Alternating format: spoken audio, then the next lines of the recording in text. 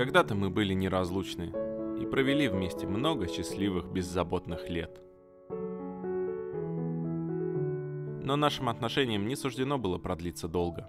И как это часто бывает, в какой-то момент пришло время двигаться дальше.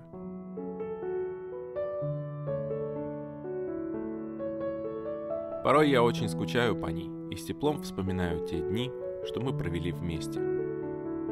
Она была прекрасна, и порой кажется, что буквально все вокруг напоминает мне о ней.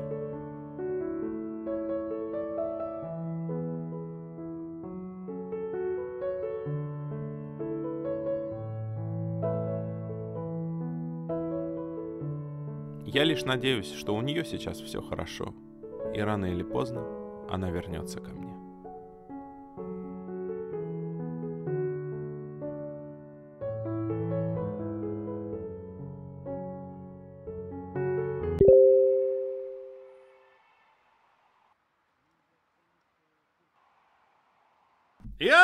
Вернулась!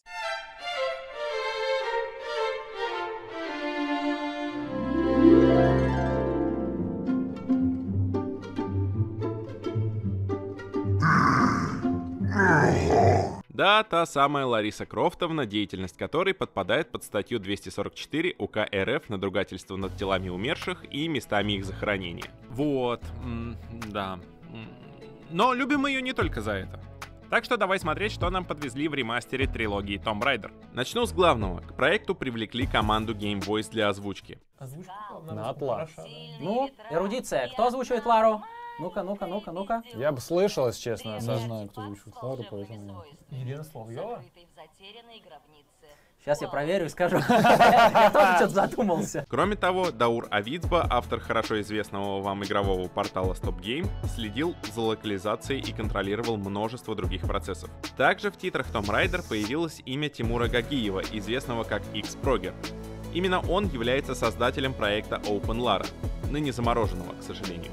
Это движок для классической Tomb Raider, позволяющий играть на современных платформах. Прежде всего хочется отметить, какую огромную работу проделали разработчики над улучшением графики в игре. Все ассеты и текстуры были тщательно переработаны. Возьмем, к примеру, модель самой Лары. Помимо очевидных изменений в полигонаже главной героини, ей добавили новые анимации. Например, теперь она моргает, а ее руки больше не похожи на руки гнома Эйтри из Войны Бесконечности. Теперь у нее есть пальцы, и она ими даже шевелит.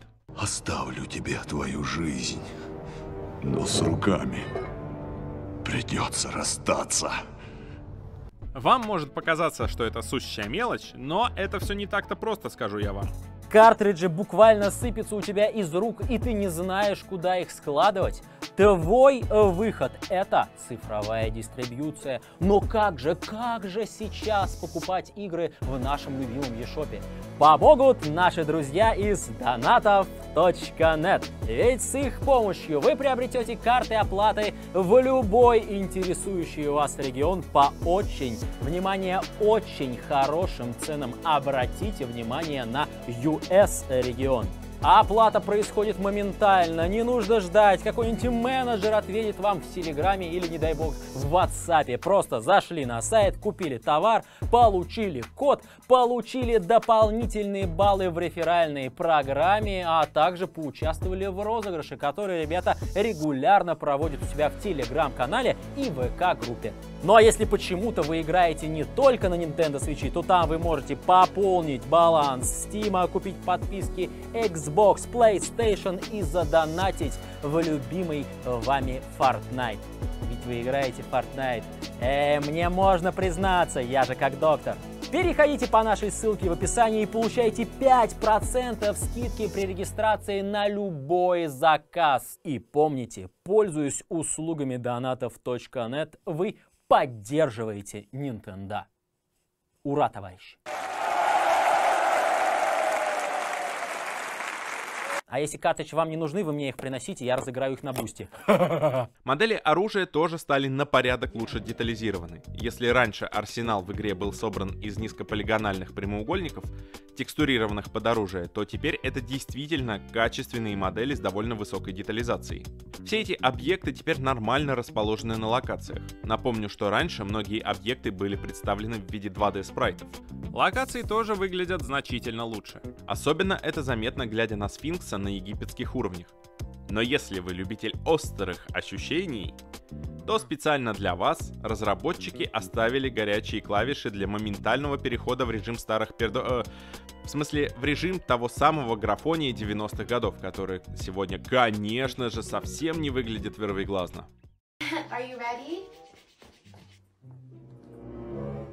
That is not the 1996 Tomb Raider I was talking about.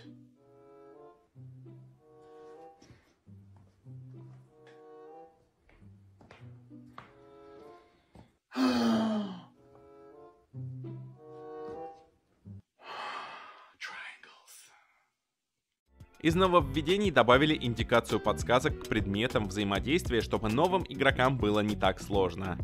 Хе-хе-хе, слабаки. Но подсказки можно отключить в настройках. Хочу отметить один спорный момент. В игре встречаются места, где с обновленной графикой практически невозможно найти необходимые для дальнейшего прохождения предметы, например, ключи. Раньше они выглядели так, что их можно было разглядеть с другого конца локации. В обновленной графике их сделали меньше и темнее, из-за чего они зачастую сливаются с текстурами локации. И нам придется часами ползать по одному и тому же месту, не понимая, что нужно сделать для прохождения дальше по уровню. Также в некоторых местах оригинальной игры текстуры некоторых ассетов выглядели растянуто, и эта проблема была также перенесена в новый графический режим. Да, качество текстур значительно выросло, но все равно это выглядит странно. Сальтухи в воздухе, которые, если я правильно помню, Лариска научилась крутить только во второй части серии, в ремастере были добавлены и в первую. Модельки животных тоже претерпели существенные изменения, но они по-прежнему криповенькие. Их не переделывали детально, а скорее просто причесали имеющуюся модель, сделали больше полигонов, более качественные текстуры и карты нормалей. Но все равно медведи по-прежнему выглядят альтернативно одаренными, а волк... ну...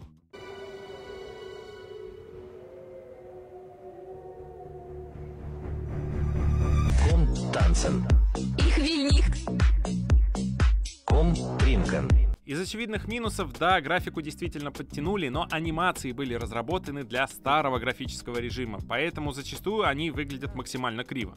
Например, когда Лариска касается своего лица, ее руки проходят сквозь текстуры, а пальцы теряются где-то внутри головы. Физика в некоторых кат-сценах также осталась без изменений, из-за чего она порой выглядит совершенно неестественно, но это даже забавно. В 90-е годы разработка игр сопровождалась целой кучей всевозможных технических ограничений, поэтому зачастую разработчикам приходилось выкручиваться из самых разных ситуаций. Например, заставить персонажа открывать рот во время диалога было крайне проблематично. Именно поэтому в оригинальный Том Райдер персонажи кивали головой в такт своей речи, чтобы обозначить, кто произносит ту или иную реплику. Теперь же у нас обновленный графон, добавлена анимация речи, но персонажи по-прежнему кивают головой как болванчики, что в режиме обновленной графики выглядит очень странно.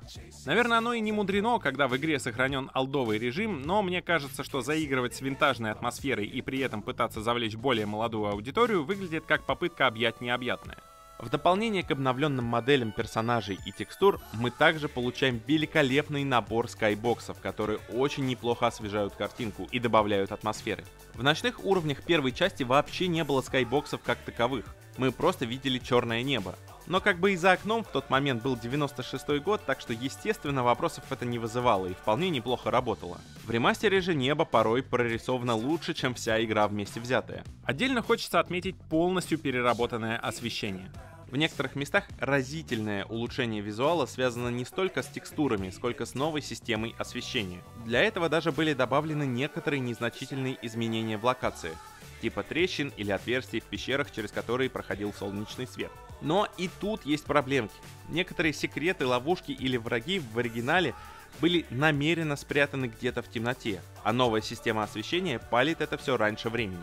Обратная ситуация с переключателями, рычагами и поверхностями, по которым можно карабкаться. Из-за новой системы освещения их порой очень плохо видно, как и те самые ключи, упомянутые ранее. Звук не претерпел практически вообще никаких изменений. Единственное отличие ремастера от оригинала — это добавление эффекта реверберации в некоторых местах, чтобы усилить ощущение пространства.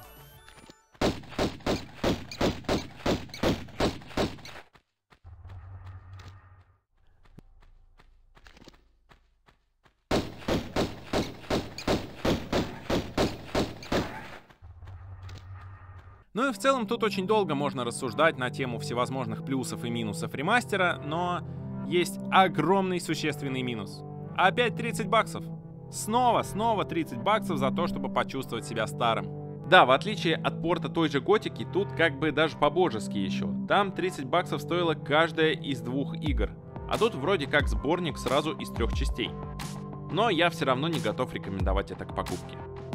А для вас старалась команда Panda Game Art совместно с командой Nintendo. Подписывайтесь на наши социалки, на их социалки, на наши всевозможные каналы. Не забываем. И до новых встреч!